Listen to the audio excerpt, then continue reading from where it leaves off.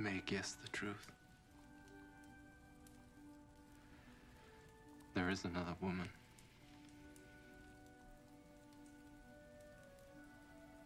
Only not the one she thinks.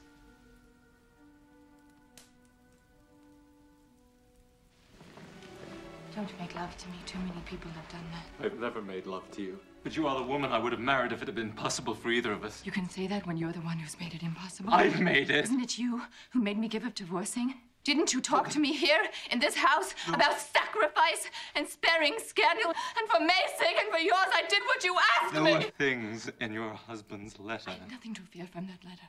Absolutely nothing. I was just afraid of scandal for the family and you and May.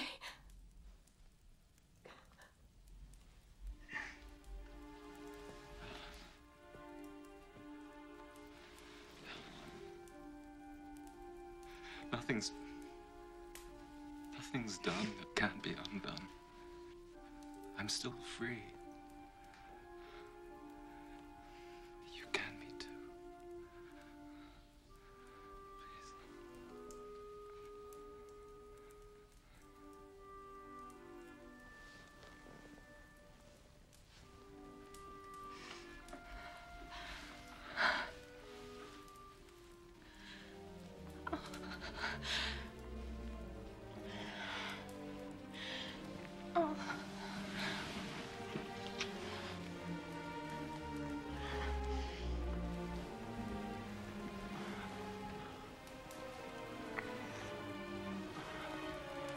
Oh.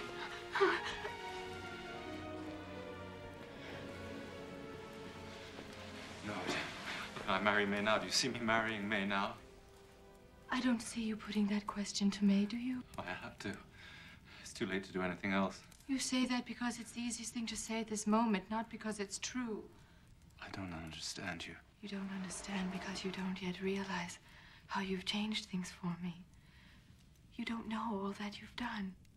All I've done. All the good things you've done for me, Newland, that I never knew.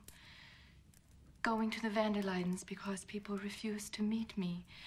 Announcing your engagement at the ball so there would be two families standing behind me instead of one. I never understood how dreadful people thought I was. Granny blurted it out one day. I was stupid. I, I never thought. New York meant freedom to me. Everyone seemed so kind and glad to see me. But they never knew what it meant to be tempted, but you did. You understood. I'd never known that before.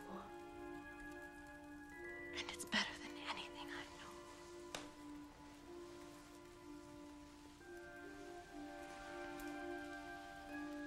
know. Newland, you couldn't be happy if it meant being cruel.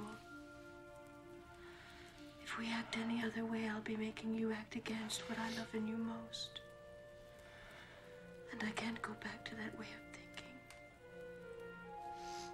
Don't you see, I can't love you unless I give you up.